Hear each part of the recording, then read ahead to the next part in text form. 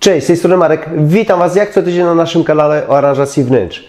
Dzisiaj bardzo fajny temat. Bardzo się na niego cieszę, bo o psach i kotach, o naszych milusińskich w naszych domach i mieszkaniach. Kto ma takie? Ręka w górę. No ja, ja, ja, ja mam nawet dwa owczarki.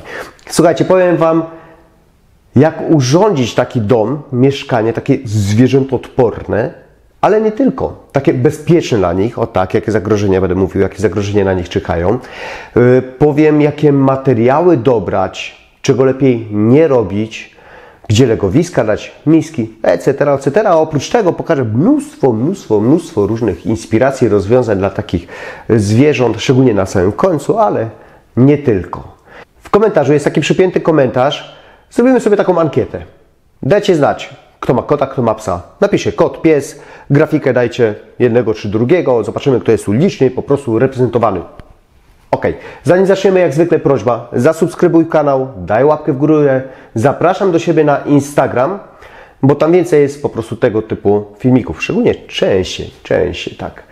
Ok, zaczniemy od wejścia.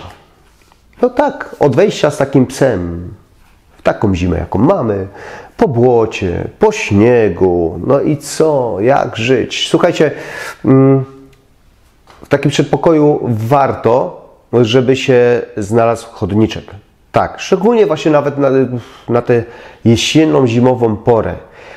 Psa na szczęście da się nauczyć, że on ma wejść, stanąć i stać. Serio, da się nauczyć, tak. Z kotem, dobra, o tym to później. E, z psami nie będzie problemu, tak więc e, taki chodniczek by się na pewno przydał. E, stanie, można wyczyć mu te łapki, idzie dalej. Ale jeżeli macie taką możliwość, szczególnie w domach jest taka opcja, że zaraz jest jakaś kotłownia albo mała ubikacja, to warto zrobić brodzik dla psa. Dzięki takiemu brodzikowi nie upieprzycie sobie całego mieszkania, tylko w tym miejscu po prostu możecie go ochlapać, wytrzeć, żegnam, do widzenia. A jeżeli nie brodzik, bo nie zawsze jest na to miejsce, to warto zrobić choćby odpływ na środku w podłodze. I to będzie spełniało tą samą rolę. Jak już wejdziecie do domu, no to ten pies, kot gdzieś lubi się położyć, mieć swoje miejsce. Przede wszystkim e, trzeba obserwować, tak, ale jest taka zasada, szczególnie przy psach, że one muszą mieć miejsce takie wyciszone no nie są one cały czas naładowane Duracell i cały czas latają, biegają, tylko też chcą odpocząć. Psy potrafią spać kilkanaście godzin dziennie, tak więc no muszą mieć takie miejsce dla siebie, bo inaczej będą zmierzłe, nerwowe i na co Wam to, jak będą wkurzone. Tak? Ja mam te swoje owczarki i powiem Wam tak, jak już mają mnie dość, tak przy... mnie, dzieciaki pewnie, tak? Ale do mnie przychodzą, tak mnie łbem szturchają, pokazują, serio mówię, pokazują, gdzie chcą iść, ja idę, zawsze, zawsze idą do garażu, otwieram im drzwi, pyk, schowane. I święty spokój. Dlatego warto zrobić takie miejsce. A kot, no co wam powiem, no, kto ich tam wie, tak? Gdzie ci wskaże, tam zrób. Nie dyskutuj z nim, nie ma sensu. Nie, nie, tak nie przegadasz mu. Tak więc obserwuj. Obserwuj, gdzie on lubi przebywać, wygrzewać się. Szczególnie w zimą warto gdzieś pomyśleć o takim legowisku przy kaloryferze. No jest sporo rozwiązań, wiadomo, że lubią być na parapecie, ale może na wysokości. Bo koty lubią podglądać, uwaga, tak, lubią podglądać taki szpieg z krainy deszczowców. Tak więc warto im przygotować miejsce przy oknie, na parapecie, a jak go nie macie, to na takiej półeczce lub zrobić hamak. Czy one zawsze na nas góry muszą patrzeć? Kuwetę i miski warto, aby miały na płytkach. Ostatnio robiliśmy specjalnie szafkę łazienkową, żeby kot się pod nią mieścił. No fajnie, nie? Są również, warto dać e, te miski gdzieś na płytkach, na takim podłożu, który łatwo zmyć. No wiadomo, że szczególnie takie większe psy, że jak jedzą, to masakra. Psy, tak jak wspomniałem, mają swoje miejsce, legowiska, które lubią e, przebywać, ale e, jeżeli wychodzicie z domu, a to są łobuzy takie, że po prostu niszczą, no to warto je zamknąć. Zobaczcie te propozycje, te rozwiązania. Warto zrobić takie większe lub mniejsze miejsce dla psa. Ma on ogrodzone miejsce dla siebie z miskami, z miejscem do spania, ale można też wykorzystać miejsce na przykład pod schodami, a nawet pod szafką, taką szafką głębszą, tak? No okej, okay, no mój owczarek pewnie by poszedł razem z tą szafką i nie zwrócił nawet na to uwagi, ale mniejsze psy, why not? Koty, gdy wychodzimy z domu, i tak żyją swoim życiem, lecz warto pamiętać, aby pochować zbędne rzeczy, drobne elementy. No w sumie dla psa to też jest ważne, yy, dlatego, aby nic nie połknęły. Uważałbym też przy kotach z bibelotami postawionych na półkach, bo obawiam się, że pff, w nosie będą miały, czy coś spadnie, potłucze się, czy nie. No, lepiej schować. Ale zobaczcie to, na co dzień koty powiedzmy sobie chodzą po całym mieszkaniu, ale nie zawsze tak chcemy, żeby się przemieszczały. Chcemy mieć zamknięty pokój. To takie rozwiązanie jest ciekawe. Powiem Wam fajne rozwiązanie dla kotów albo takich mniejszych psów. Można po wykonaniu takiego myku w drzwiach udostępnić dane pomieszczenie lub nie. Pewnie się wkurzy, ale nie poradzi. To się sprawdzi szczególnie wtedy, gdy wychodzicie z domu lub gdy nie chcecie, aby zaglądały z jakiegoś powodu do danego pomieszczenia. Ok, a jakie materiały sprawdzą się w domu, takie zwierzętoodporne? E, wspomniałem o tej podłodze. Tak, no płytki chyba taki najlepszy materiał, bo przy psach no, nie, nie zniszczą, nie porysują, e, nic się z tym nie stanie i jest wodoodporny. Sprawdzą się też panele winylowe, wodoodporne są, tak więc jest ok. Nie powinny podrapać, nie powinny zniszczyć. Panele laminowane bardzo dobrej klasy, odporne na wodę, też dadzą radę. E, dadzą radę. Następnie, wiadomo, że takie zwierzaki e, często bywają kanapowce. No, akurat moje psy nie wchodzą do mnie na kanapę, ale nieraz tak jest. Już o kotach nie mówię, ale że psy e, bywają, tak? Leżą, śpią i gospodarz musi się pytać, czy może, przeprosić, grzecznie zapytać, tak? No i jeżeli taki zwierzak wchodzi na sofę, na fotel, no to dobra. A jakby miał tak specjalne posłanie, no jak nie, no to musi być taka tkanina zwierząt odporna, hydrofobowa, którą po prostu łatwo umyć. No przy kotach długie firany się nie sprawdzą. Nie, zasłony też nie. To znaczy im się będzie podobało. To tak. Im nie, ale Wam niekoniecznie. Yy, kolejna rzecz, coś co ja za bardzo nie przepadam, gałki w drzwiach. To może być pomysł, no bo zwierzę sobie nie przekręci tej gałki, ale klamkę już naciśnie i sobie pójdzie dalej. Tak więc e, to jest też dobry pomysł. Co do podłogi jeszcze, to warto pomyśleć o szczotkowanej podłodze, jeżeli macie drewno jakieś, bo wtedy nie będzie widać, bo drewno to mogą podrapać, ale wtedy nie będzie widać e, tak tych rys. I jeszcze coś, co każdy z nas ma, a może o tym nie myśleć, to cokoliki.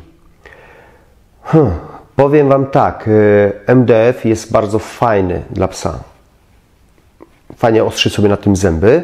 Oczywiście do czasu, tak? Jak jest takie szczenie, to będzie, będzie tak robiło, no tak więc zniszczy. No, zniszczy i tyle. Plastik ten no, wyrwie. E, aluminium byłoby to już coś. Byłoby już, nie powiem, że dla dużego psa, że sobie nie poradzi, bo sobie poradzi, ale nie będzie z tego zadowolony. Z drewna będzie bardziej zadowolony. Słuchajcie, niebezpieczeństwa, no bo ten dom trzeba dostosować jak już bierzemy jakiegoś zwierzaka, trzeba dostosować do niego, żeby krzywda mu się nie stała. Ostatnio, y, no już jakiś czas temu, słyszałem, że kot zginął, bo zawisł na przykład na oknie. Zostawili właściciele, no ponoć lata mieli koty i żaden tego nie zrobił, ale zostawili okno uchylone, kot skoczył, zawisł, no i złamał sobie kark. Tak więc e, no, trzeba na to zwracać uwagę, takiego okna nie zostawiać uchylonego i warto dawać też e, moskitiery, żeby nie wyskoczył. Bo czemu nie? Tak potrafi zrobić. Mm, rośliny no, rośliny to jest takie trochę niebezpieczeństwo.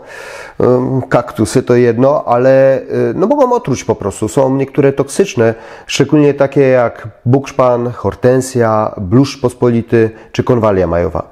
No trzeba po prostu na to uważać. Uważać też trzeba na kable wystające, żadnych, żadnych, żadnych przedłużaczy, teraz już na to, to nie przejdzie. E, tak więc uważać, bo czemu nie? On mnie tak na ogrodzie wykopał i pogryzł Przeżył, a próbował jeszcze kilka razy. Ryzykant, no ale tak, właśnie lubią, no, lubią gryźć takie kable, trzeba zwrócić na to uwagę i chować przede wszystkim. E, druga rzecz, jeżeli chodzi o instalację elektrykę, czujniki ruchu. e, z oświetleniem, tak? No, jak mój wyczuł, że światło się zapala, jak on się ruszy, to się ruszał. Jak mi przyszedł rachunek, to też się ruszyłem. Tak więc, no, zastanowiłbym się, czy wtedy w takim przypadku czujnika lepiej nie wyłączyć. I jeszcze wracając do wyposażenia, warto, aby meble były na nóżkach. Bo szczególnie niektóre psy potrafią się lenić bardziej niż ja, a wydawałoby mi się to niemożliwe. Ale jednak, jednak udowadniają, że tak. I te kotuny po prostu sierści, kurzu też e, latają wszędzie. No to wtedy, żeby ta... Nie, nie powiem Baśka, nie, nie, nie, bo już jedna pani w komentarzu mi zwróciła uwagę, że też ma na imię Basia. I ten odkurzacz, niech on sobie wiedzie pod te szafki. Tak więc... E, tak, wtedy lepiej po prostu na nóżkach będziecie mieli mniej sprzątania. A, jeszcze em, kupcie zabawek sporo. Bo jak nie kupicie, to one sobie coś znajdą w domu do, do zabawy. Legowiska dla kotów, one upodobały sobie, tak jak wspomniałem, różne miejsca, ale przede wszystkim e, lubią gdzieś na wysokości. Na ścianach, pod sufitem. I zobaczcie teraz te no, fajne, ciekawe rozwiązania. Nie tylko dla kotów, ale w większości kilka będzie też dla psów.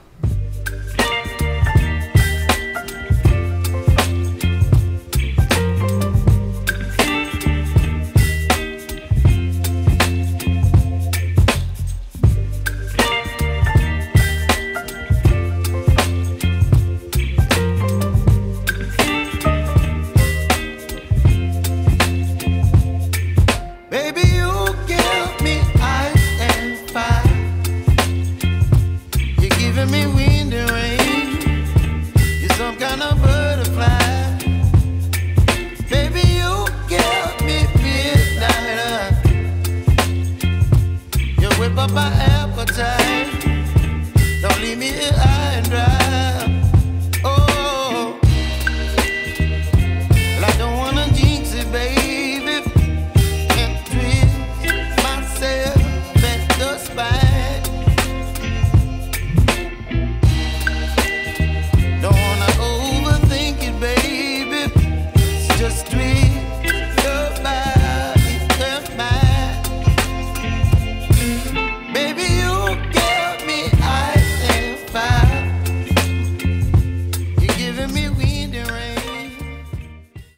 Jestem bardzo ciekawy, jak dużo mam tutaj zwolenników kotów i psów, w ogóle zwierząt. Dajcie znać w komentarzu, czy macie, czy posiadacie i co byście jeszcze dodali do tej listy, co jest niebezpieczne przede wszystkim, bo to jest chyba taki najważniejszy punkt, co jest niebezpieczne dla zwierząt i co jest takim udogodnieniem. Napiszcie w komentarzu, bo pewnie ja wszystkiego nie wymieniłem, a Wy to jak zwykle jesteście skarbnica wiedzy. Bardzo proszę, piszcie. Mam nadzieję, że odcinek Wam się przydał. Jeżeli tak, to proszę dajcie łapkę w górę, zasubskrybujcie mój kanał, zapraszam do siebie na Instagram i TikTok też. Ok, a na ten moment bardzo Wam dziękuję, do zobaczenia i cześć.